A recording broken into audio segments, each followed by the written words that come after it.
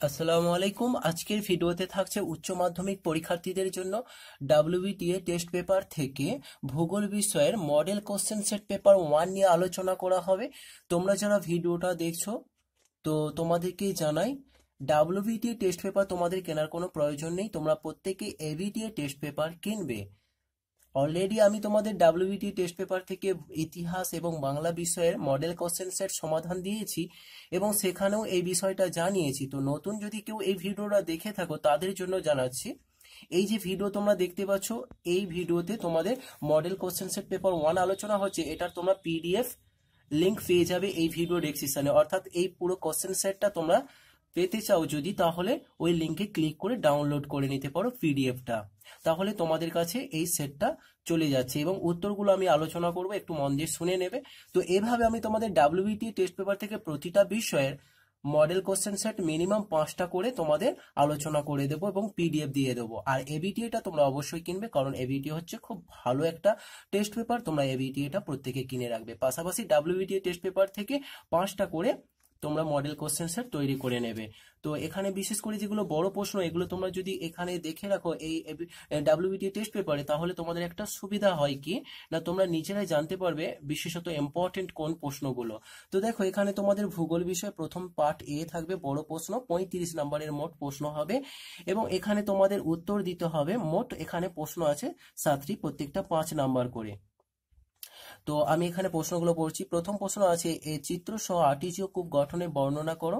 Geyser কি? এর উৎপত্তি কারণ ব্যাখ্যা করো। আচ্ছা নাম্বারটা তোমরা দেখতে পাচ্ছ, দুই যোগ তিন যোগ দুই যোগ দুই। তো এভাবে তোমাদের প্রশ্নগুলো দেওয়া হয়েছে, অর্থাৎ মোট সাত নম্বরের এবং এখানে পাঁচটি প্রশ্ন আছে, আমি ভুল বলেছিলাম, মোট পাঁচটা প্রশ্ন আছে। কিন্তু প্রত্যেকটা প্রশ্নতে প্রায় অথবা দেওয়া আছে। দেখো, এর অথবার প্রশ্ন কি আছে? নদী দ্বারা সৃষ্ট কাস্ট ভূমিরূপ সম্পর্কে আলোচনা করো এবং বলেছে স্ট্যালাকটাইট ও স্ট্যালাকমাইটের পার্থক্য। খুবই গুরুত্বপূর্ণ অথবার প্রশ্নটা কিন্তু। অথবার প্রশ্নটা বেশ ইম্পর্টেন্ট আছে, তোমরা অবশ্যই করে নেবে। বি এর প্রশ্ন বলেছে, ক্রান্তীয় ডিপ্রেশন কি? এলনিনো কি? এলনিনোর উৎপত্তি ও প্রভাব আলোচনা করো। অথবা দিয়ে থাকছে লবণাম্ব উদ্ভিদ বা হ্যালোফাইটের শ্রেণীবিভাগ ও বৈশিষ্ট্য আলোচনা করে লবণাম্ব উদ্ভিদের অভিযোজনগত বৈশিষ্ট্য লেখো। তো দেখো এখানে ক্রান্তীয় ডিপ্রেশন কি এবং এলনিনো এবং এলনিনোর উৎপত্তি প্রভাব এটাও ইম্পর্টেন্ট আছে কিন্তু। আর লবণাম্ব উদ্ভিদ এটাও শ্রেণীবিভাগটা বিশেষ করে এবং সেই সঙ্গে বৈশিষ্ট্যটা তোমরা অবশ্যই করে নিও। আদ্র কৃষি কাকে বলে? এই কৃষির অবস্থান ও বৈশিষ্ট্য উল্লেখ করো। ভারতীয় রুট শিল্পাঞ্চল গড়ে ওঠার কারণ আলোচনা করো। মালয়েশিয়া রবার শিল্পে উন্নত কেন? এই প্রশ্নটাও ইম্পর্টেন্ট আছে এবং সেই সঙ্গে ভারতের যে কৃষি, আর্দ্র কৃষি কাকে বলে, এই কৃষির বৈশিষ্ট্য আলোচনা করো। এবং পরবর্তী প্রশ্ন থাকছে, উন্নয়নশীল দেশের বয়লিঙ্গ ও পিরামিডের বৈশিষ্ট্য লেখো। অগ্রগামী ও পশ্চাৎগামী জনসংখ্যা বলতে কি বোঝো? অথবা দিয়ে আছে, সেন্সার শহর কাকে বলে? ভারতীয় জনগণনা অনুসারে পৌর বসতির শ্রেণি বিভাগ করো। তো এই যে তোমরা বড় প্রশ্নগুলো দেখতে পাচ্ছ, এভাবে আমি তোমাদের পাঁচটা মডেল কোশ্চেন সেট আলোচনা করে দেব এবং মোটামুটি তোমাদেরকে এখান থেকে ইম্পর্টেন্ট বলে দেব। তো এইগুলো এখানে যেগুলো ইম্পর্টেন্ট বলা হচ্ছে, সেগুলোকে তোমরা সাজেশন হিসাবে পেয়ে যাচ্ছ। আর সংক্ষিপ্ত প্রশ্নগুলোর উত্তর সহ আলোচনা হচ্ছে, তোমরা একটু দেখে নেবে। তো এভাবে তোমরা ডাব্লিউবিটি টেস্ট পেপারটা একটু লক্ষ্য করবে। যার যে বিষয় আছে, সেই বিষয়ে পাঁচটা মডেল কোশ্চেন সেট আর অবশ্যই এবিটিএ টেস্ট পেপারটা এর পাশাপাশি সলভ করবে। তাহলে তোমরা কিন্তু পরীক্ষাতে অবশ্যই উপকৃত হবে। তো সঠিক উত্তর বেছে নিয়ে লিখতে বলা হয়েছে, এখানে তোমাদের এমসিকিউ প্রথম প্রশ্ন বলা হয়েছে, সোয়ালো খোল যে সুরঙ্গের দ্বারা ভূগর্ভের সাথে যুক্ত থাকে তাকে বলে গুহা, ফোনর, হামস ডোলাইন। এখানে উত্তরটা হবে বি অর্থাৎ ফোনর। তারপর থাকছে গোয়ার ছাদ থেকে ঝুলন্ত পাথরের স্তম্ভকে বলে স্ট্যালাকটাইট স্ট্যালাকটাইট। এখানে বি অর্থাৎ স্ট্যালাকটাইট হবে সঠিক উত্তর। পরবর্তী প্রশ্ন পরের প্রশ্ন বলা হয়েছে, ভৌমজলের প্রধান উৎস হলো সহজাত জল, আবহিক জল উৎসন্দ জল, মহাসাগরীয় জল। এখানে বি অর্থাৎ আবহিক জল। তারপর বলেছে হার্ড ফ্যান গঠিত হয় ল্যাটেরাইট মৃত্তিকা, পর্জল মৃত্তিকায় তুন্দ্রা মৃত্তিকা চারনজম মৃত্তিকা। এখানে বি অর্থাৎ পর্জল মৃত্তিকা সঠিক উত্তর। পরে থাকছে, কৃষ্ণ মৃত্তিকা সৃষ্টি হয়েছে যে শিলা থেকে ব্যাসল্ট, গ্রানাইট, বেলপাথর কাদা পাথর এখানে এ ব্যাসল্ট হবে সঠিক উত্তর। গ্লেজেশন প্রক্রিয়া বেশি কার্যকরী হয় জারণ অঙ্গারযোজন বিজারণ জলযোজন। এখানে সি অর্থাৎ বিজারণ, সঠিক উত্তর। তারপর বলছে ক্রান্তি ঘূর্ণবাতির কেন্দ্রে চাপ কত? এখানে হবে নাইন এ অর্থাৎ nine hundred fifty M B অর্থাৎ মিলিবার এখানে এটাই হবে সঠিক উত্তর। তারপর থাকছে পূর্বালি তরঙ্গের গতিবেগ কত? এখানে থার্টি কিমি পার ঘণ্টা টোয়েন্টি ফাইভ কিমি পার ঘণ্টা ফর্টি কিমি পার ঘণ্টা, এখানে সি অর্থাৎ ফর্টি কিমি পার ঘণ্টা সঠিক উত্তর। তারপর থাকছে গ্রিন হাউস গ্যাসগুলির মধ্যে সর্বাপেক্ষা গুরুত্বপূর্ণ ও প্রধান হলো মিথেন কার্বন ডাইঅক্সাইড এখানে উত্তর হচ্ছে বি অর্থাৎ কার্বন ডাইঅক্সাইড তারপর থাকছে ডোডো পাখি হলো?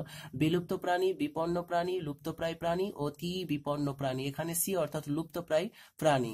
ভারতের বিলুপ্ত প্রায় প্রাণী হল ইঁদুর, ভারতীয় গাধা, শকু- শূকর, কস্তুরী মৃগ। এখানে ডি অর্থাৎ কস্তুরী মৃগ হবে ভারতীয় বিলুপ্ত প্রাণী। বিলুপ্ত প্রায় প্রাণী। তারপর থাকছে ভারতের বর্তমানে ব্যাঘ্র প্রকল্পের সংখ্যা আটটি, একুশটি, বিয়াল্লিশটি, চুয়াল্লিশটি। এখানে সি, বিয়াল্লিশটি সঠিক উত্তর। তারপর থাকছে প্রাচ্যের ডান্ডি বলা হয় খুলনাকে, ঢাকাকে, রাজশাহীকে, নারায়ণগঞ্জকে। ডি অর্থাৎ নারায়ণগঞ্জকে। তাহলে মনে রাখবে প্রাচ্যের ডান্ডি বলা হয় নারায়ণগঞ্জকে। তারপর বলেছে বিশ্বের শ্রেষ্ঠ কফি উৎপাদক দেশ হলো ভেনেজুয়েলা, মায়ানমার, ব্রাজিল কোস্টারিকা। তো এখানে সি অর্থাৎ ব্রাজিল হচ্ছে সঠিক উত্তর। স্থানান্তর কৃষিকার্য থাইল্যান্ডে যে নামে পরিচিত তামরাই রোকা লাদাং হুমা। এখানে এ অর্থাৎ তামরাই সঠিক উত্তর। আধুনিক শিল্পদানব বলা হয় পেট্রো রসায়ন শিল্পকে, খাদ্য প্রক্রিয়াকরণ শিল্পকে, লৌহ ও ইস্পাত শিল্পকে, কার্পাস বরণ শিল্পকে, এ অর্থাৎ পেট্রো রসায়ন শিল্পকে। তারপর বলেছে পেট্রো, রাসায়নিক শিল্পে শীর্ষ স্থানাধিকার দেশ হলো কানাডা, আমেরিকা, যুক্তরাষ্ট্র, জাপান, ভারত। এখানে বি অর্থাৎ আমেরিকা, যুক্তরাষ্ট্র হচ্ছে সঠিক উত্তর। তাহলে পেট্রো রাসায়নিক শিল্পের শীর্ষস্থানীয় দেশ। এরপর থাকছে তোমরা লক্ষ্য করো তারপরে পরের প্রশ্ন বলা হয়েছে ভারতের বস্ত্র শিল্প মানে, ভারতের বস্ত্র বয়ন শিল্পের রাজধানী বলা হয়ে থাকে কম্বাটোর কলকাতা মুম্বাই আমেদাবাদ। এখানে সঠিক উত্তর হবে। তোমরা যারা ভিডিওটা দেখছ অন্যান্য বিষয়ের মডেল কোশ্চেন্সের সমাধানগুলো দেখতে চাইলে এই ভিডিও ডেসক্রিপশনে লিঙ্ক পাবে। সেই সঙ্গে তোমাদের বলে রাখি, ভূগোল, বাংলা, ইতিহাস বিষয়ে তোমাদের সাজেশান ভিডিও পোস্ট করা হয়েছে। তোমরা সাজেশানগুলো দেখতে চাইলেও এই ভিডিও ডেসক্রিপশনে লিঙ্ক পেয়ে যাবে। অবশ্যই তোমরা দেখে নিও। অন্যান্য বিষয়ের সাজেশন ভিডিওগুলো। পরবর্তী প্রশ্ন বলা হয়েছে, যে মহাদেশের জনসংখ্যা বৃদ্ধির হার সবচেয়ে বেশি তা হলো এশিয়া, আফ্রিকা, ওশিয়ানিয়া, ইউরোপ। এখানে তোমাদের সঠিক উত্তর যেটা হবে আফ্রিকা। তারপর থাকছে, ভারতের সর্বাধিক জনবহুল রাজ্যটি হলো সিকিম, বিহার, অন্ধ্রপ্রদেশ, মহারাষ্ট্র। এখানে উত্তরপ্রদেশ, মহারাষ্ট্র। এখানে সি অর্থাৎ উত্তরপ্রদেশ হবে সঠিক উত্তর। তারপর বলেছে, ভারতের একটি উল্লেখযোগ্য প্রতিরক্ষা শহর হলো আম্বালা জব্বলপুর, হলদিয়া, ধানবাদ। এখানে এ অর্থাৎ আম্বালা সঠিক উত্তর।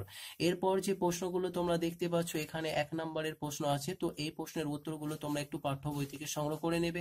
আর যারা ভিডিওটা দেখছ, তোমরা চাইলে এটা স্ক্রিনশট করে নিতে পারো, অথবা পিডিএফটা ডাউনলোড করে নিতে পারো।